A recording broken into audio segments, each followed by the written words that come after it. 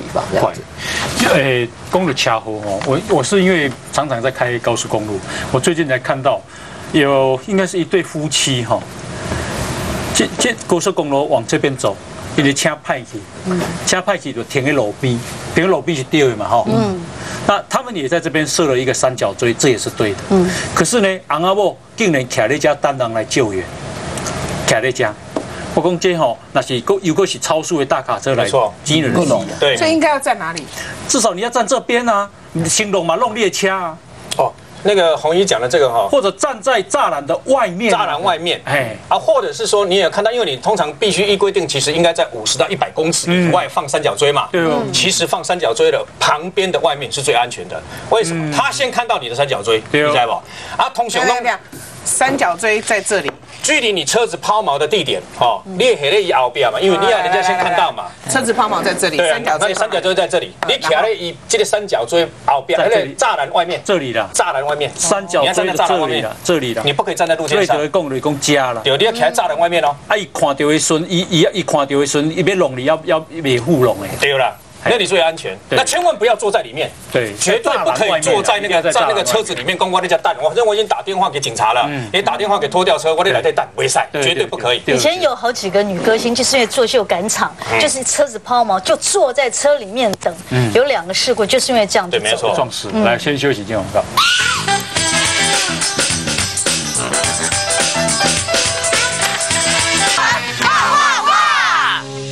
到我们的现场啊！因为于峰先生是第一次来我们节目嘛，哈，是是什么引发你对隧道公路特别有兴趣？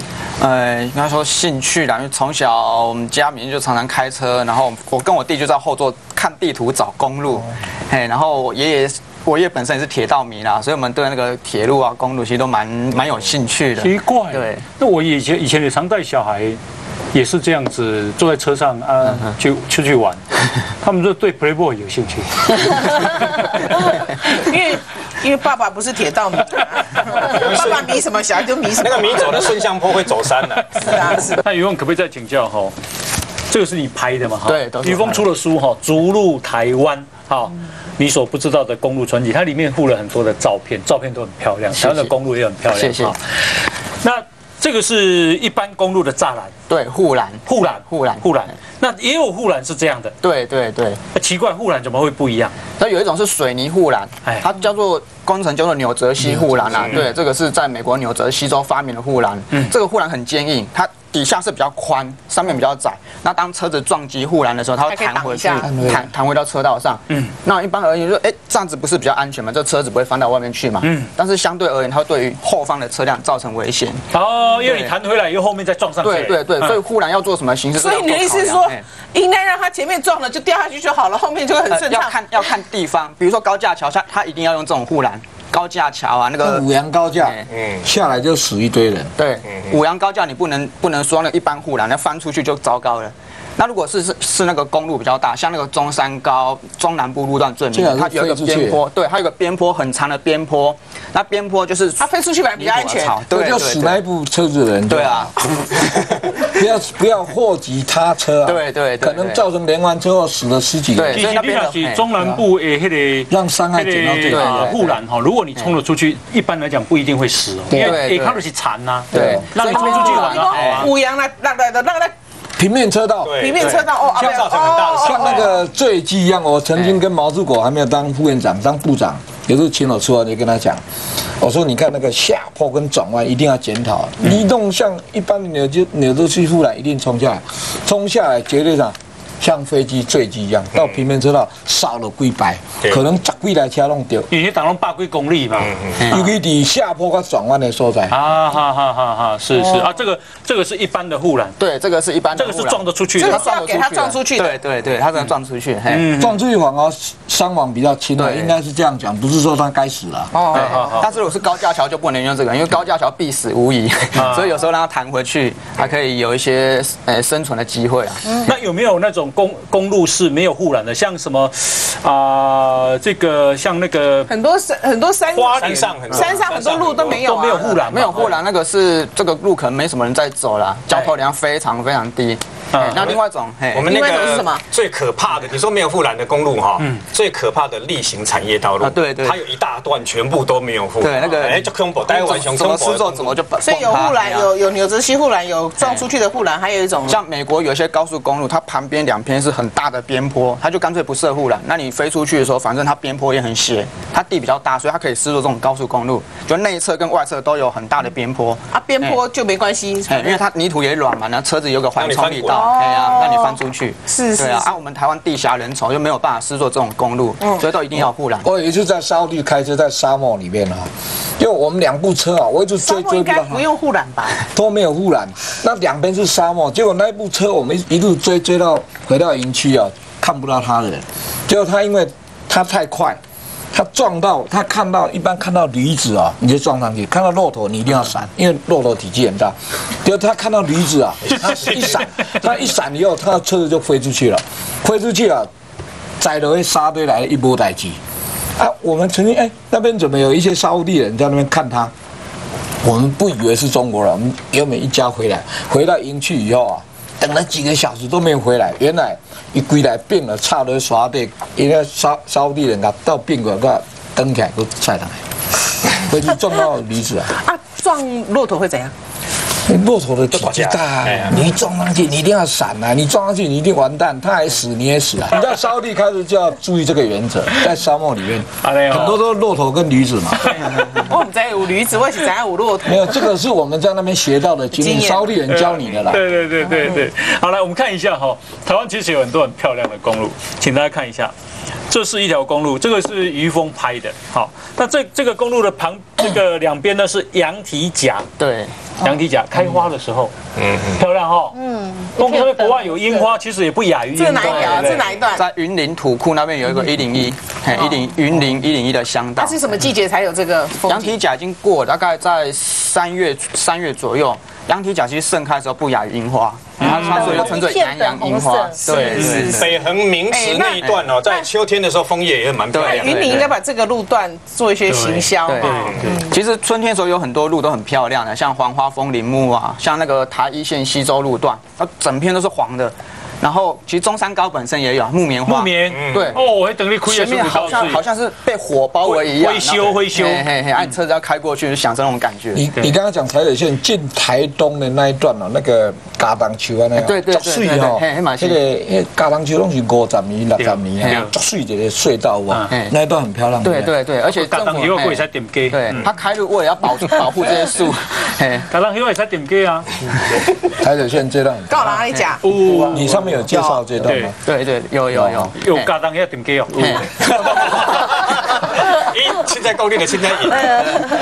来看一下黄花陵墓道，哎，枫林木，枫林木哎，枫林木，枫林木，对对巴，西枫林木，最后嗯，西周，对，哦，中华 K 九嘿嘿嘿，啊，金黄色。好，那。再看这个是这个比较常见啊，樱花山樱花，山樱花，山樱花，基本上山区都看得到，对。嗯，够配一台，够配一台游览，哎，不，配一台那个啥火车，小火车。啊，很有味道哈，对对是，其实啊，在国道三号靠近苗栗附近哦，啊，跟台中这附近，每年五月五月雪，哦，那个桐花满山遍野，非常漂亮。嗯嗯，我们讲的护栏是有一个事是这样子哈，你知道在那个信信在信义乡那边有个郡大哈，那那那那条就是有一条郡大林道，那个林道是早期就是说它这个郡大林道可以通到那个。关高，那是最早的时候是从里面那么要运木头嘛，哈，要运运出来的。那那一条各这个这个公路，其实是这个林道哈，到现在哦哈，它还是还是可以通到里面的有有呃一个土地公庙啊。这现在也是很多骑脚踏车都很喜欢骑的一条那个林道。那那个林道哈，曾经发生一个很诡异的事，因为那个范围是属于玉山国家公园。那有一次就是他们那个那那个林道是这样子，就是说它整条路都是石头路，好。啊，不过它都有护栏，就我们刚刚看的那种、那种一般的那种、那种护栏。那那个国家公园一个有个警察，他是他，你知道他有一个一时间有一段时间，他就要进去里面巡视，签那个巡逻箱。嗯。那那一那一次那个警察他就开车进去啊，然后进去的时候，你知道他那个石头路啊，他是开的吉普车嘛，有有点高高底盘的吉普车。啊，你知道开开开走那个林道。因为是石头路，你绝对没办法开很快。嗯，那后来他发生意外翻车，嗯，掉到那个两三百公尺深的那个断崖那边，那搜救人员就下来，就垂就就垂降下去啊，要要要去看，要去把他救救上来。就下去的时候，看到他那个那个车子哈，嗯，这样滚下去，这样滚得像一颗像铁球，哦，变形啊，掐哟，嘿，掐就变成一个远远的一个铁球。啊，当然已已已经已经往生了。那他们，然后他们，然后令那个搜救队令警察到现场的时候，很不解的一件事情就是说，他们看到他的那那个变成铁球那个护栏沿路不就是弄个密密麻麻所以说很诡异的是，那个护栏既然不不但不但说没有撞的那个痕，没有被撞断，连那个撞的痕迹都没有哇哦，飞出去，啊。所以所以说你车子哦，你再怎么高速，你怎么可能会飞过那个哎飞过去？那个啊至少有更何况一公尺高啊，哈。对啊，更何况他那个路是不能骑、不能开太快的啊，所以说他们到现场的时候，到现在还没办法查出说他车子到底是怎么掉下去的。嗯你今天你掉下去，绝对一定要把它撞断或者撞坏。变形金刚变不出来，抓哦，不是 不是，到到现在他们都都都不能理解，不能理解啊，他车子到底是怎么掉下去，到现在都还还那刚刚讲说有队伍奇怪队伍是陈玲玲这边提供的故事嘛，对不对？在隧道里面，对不对？一下，好，来先休息一下。这种刷掉对吧？抓对，美丽真的要付出代价，我还是把假睫毛。好好，在路上遇到特殊的队伍哎，，可以刷掉什么队伍？呃，是这样，我一个朋友他到中部去，那因为很少去到台中部去访友，访友之后，然后就自己想逛一逛，哈，就回去，就自己回到自己的住的这个旅社去。那在路上走的时候，突然在公路上，就因为他走边边嘛。对面迎面而来一个很奇怪的队伍，手上就不要捧一个什么东西，然后很安静，法师没有什么声音的。他觉得哎奇怪，是送葬吗？也不像啊，那么晚但是对，然后什么都不是，他看半天看不懂，然后再往进去一点看的时候，哎，又开始知道有住家的地方，全部门窗紧闭，整个中部那个城镇就像个死城一样。他心里想说：天哪，到底发生了什么事情？怎么会这样？才大概十点钟不到，整个是漆黑的一片啊，安静的不得了，路上都没有什么人在走。然后先是碰到那个队伍，然后再进去，那时候他已经开始发麻了。然后再回到饭店睡觉的时候，哇，不行了，就睡到半夜的时候，梦里面就一个红色衣服的一个女生就来跟他哭，就跟他讲说她很苦，她很难过，来跟他哭。他一个人睡这个旅社里面，我吓得这样子，然后怎么会有一个女的来来来来跟他哭这样子？然后后来到早上醒来之后，他也是不懂，赶快跟他朋友讲说那是怎么，当地那个朋友问他怎么回事，他那朋友才讲说啊，惨了，你碰到人家在上蚂蚱。上巴掌是中部唯有的一个习俗，就是后来才知道说，原来前前一阵子他们那个地方有一个女生因为情伤，然后全部穿着红色的衣服，然后就吊颈自刎，然后就走了。走了之后，这个女的冤气很重很重，当地所有的法师通通压不住，而且是连环的，一天一个，就在当地那个小镇里面，就连那个法师也是跟她一样，同样的这样子就走了。哇，就是真的很凶，就怕雷公，就怕好几个法师都没有用，那怎么办？只好当地的乡长请了当地的最大的那个庙，请神明出面来解决这个事情，然后再出动几个法师一起说要到海边去把那条绳子给解决，因为所有的最大的冤气都在那条绳子上面，所以就要送到海边解决。那所以他我就是我那个朋友看到了这个事情，应该赶快回避，可是呢，他面对面冲到了哦，哇，整个就不行。然后从那天开始起，就整个精神状况非常不好。所以人家沿途